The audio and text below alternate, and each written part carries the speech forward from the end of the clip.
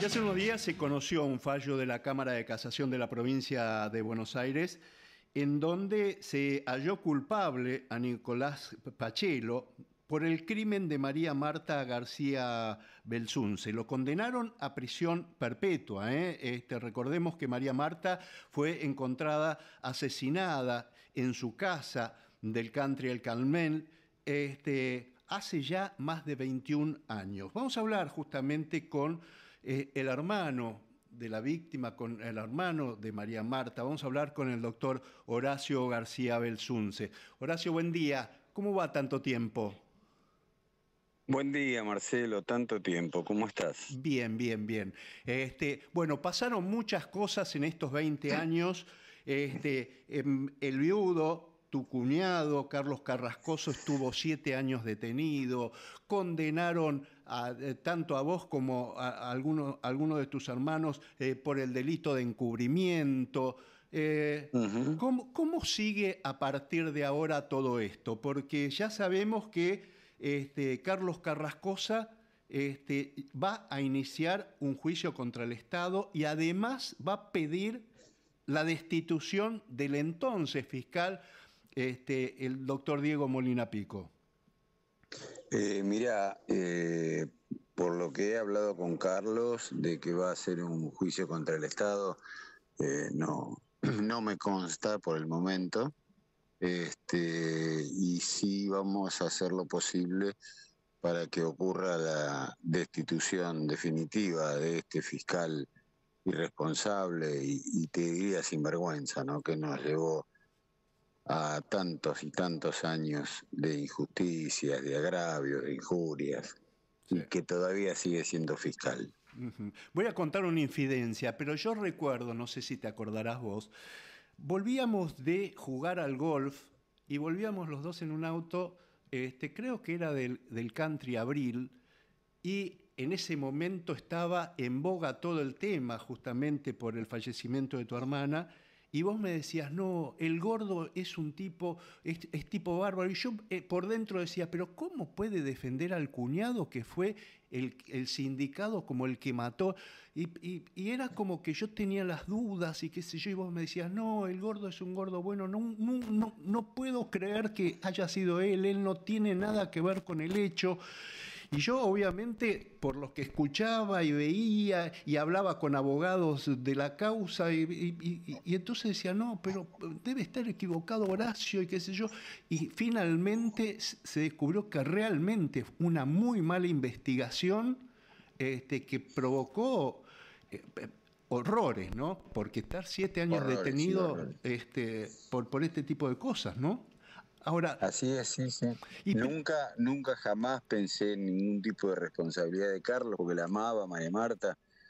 Este, era todo para él, María Marta, era un matrimonio este, perfecto, digamos, con las desavenencias lógicas de todo matrimonio. Obviamente. Este, pero que le echaran la responsabilidad encima de haber matado al amor de su vida, este, era una locura y nunca ninguno de nosotros pensó que Carlos podía tener ninguna responsabilidad.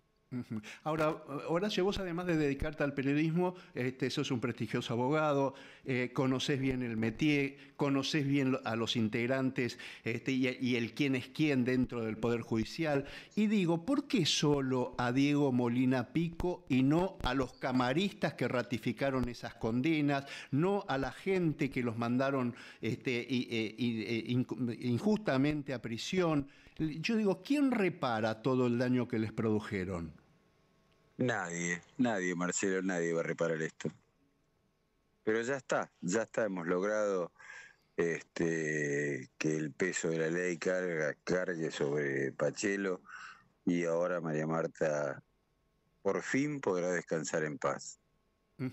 Eh, hablaban hace unos días con, después que salió esta resolución, con, con algunos magistrados, incluso de la provincia de Buenos Aires, y me decían, no, bueno, tienen, tienen que pedir, tienen todas las condiciones necesarias para pedir el resarcimiento por parte del Estado. Sí, pero para eso se necesita plata, Marcelo.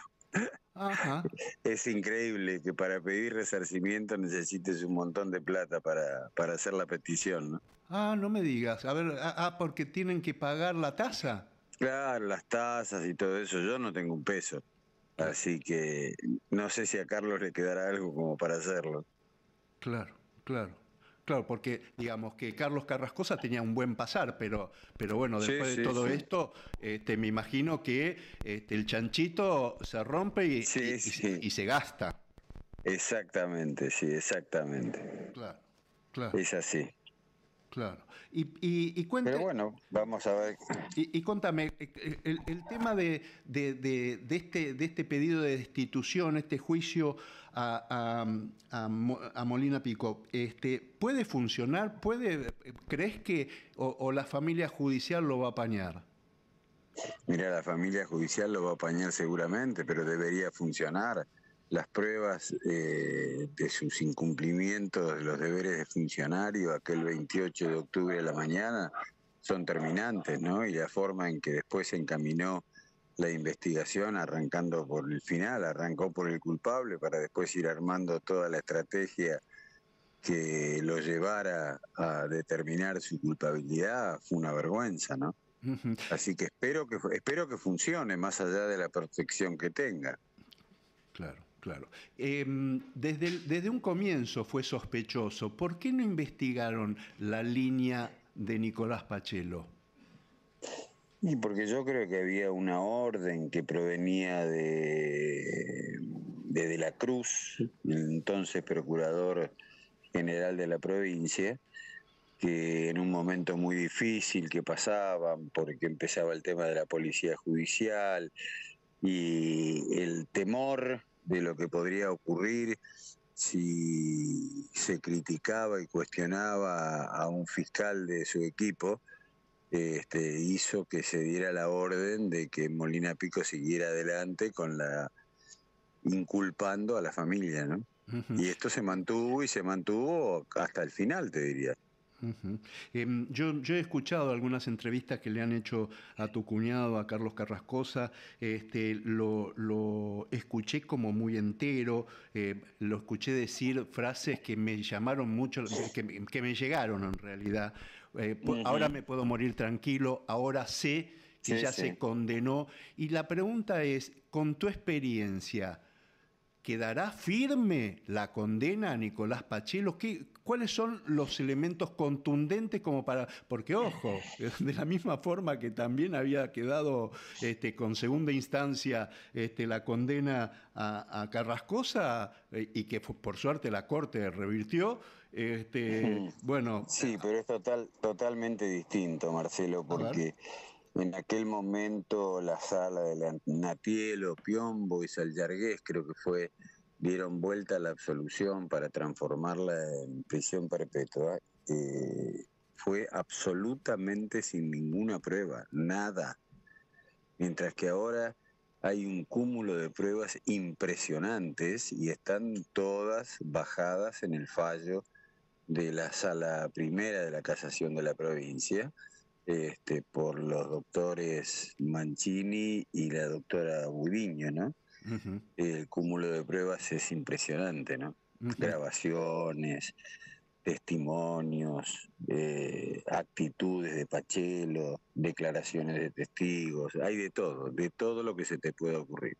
Eh, eh, charlando Ahora, si va a zafar, si va a zafar o no, no lo sé, él tiene el derecho al doble conforme. Este, por supuesto, apelarán. Uno de los inconvenientes con el que se van a encontrar es que cuando la Suprema Corte de la provincia pida revisión del fallo a casación, no hay ningún juez que no haya intervenido. Eh, Mancini y Budiño eran los dos únicos que no habían intervenido, así que no sé a quién van a poner, van a tener que llamar a algún este, camarista subrogante, pero en la casación no queda nadie que pueda entender en la causa. Me recordaba un, juez de la provincia que hablé sobre el caso, eh, sobre este caso, y me decía, bueno, vos fíjate que hasta hay un camarista detenido que intervino en la causa García Belsunce. Y le digo, ¿quién era? Ordoqui. Sí, sí, sí, tenés razón. Sí. Y yo eso no lo recordaba. Este, Tienes razón, sí. Este, me lo recordaba justamente un juez de, de ahí. Eh, Horacio, este, yo, yo mm. realmente te, agradezco mucho estos minutos a Testimonio Judía. Y te pregunto, ¿seguís jugando al golf o no? No, largue, las rodillas no me dan para caminar. Tengo que jugar en carrito, es la única chance. Y eh, primero es carísimo y después son pocos los lugares que tienen carrito. Claro. Así que una lástima, porque la verdad que, disfruté mucho con el golf. Sí, y, seguís, este, obviamente, con, con, el vicio de la profesión. Seguís, me imagino, con tu programa de radio. Sigo con mi programa de frente, que ya lleva Marcelo, 35 años nada más. Este, y sigo al aire con De Frente, ahora en un maravilloso multimedio en Tigre de los hermanos eh, Carballo, eh, la Beats 100.5. Este, estoy todas las mañanas de lunes a viernes de 9 a 10 y la verdad que haciendo, sacándome el vicio de, encima, ¿no? Este, sin ningún tipo de condicionamientos y pudiendo decir todo lo que, lo que la libertad de prensa me permite, ¿no? Me alegro muchísimo. Te mando un abrazo grande, sabes que te quiero mucho. Gracias por, por estos minutos, ¿eh? No, por favor, Marcelo, un abrazo para vos. Este, y dale, vamos para adelante. A ver cuándo nos vemos. Era el doctor Horacio García Belsunce, un prestigioso periodista judicial que nos conocemos hace muchísimos años.